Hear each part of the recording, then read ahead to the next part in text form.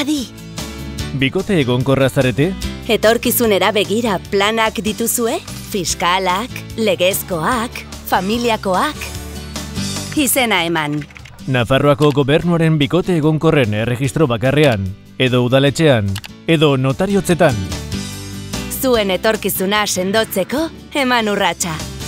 Hemen duzue informazioa 012 telefonoan, bikote egonkorren erregistro bakarrean, udaletxean. Bikote egonkorra bazarete, izena eman. Gobierno de Navarra. Nafarroako gobernua.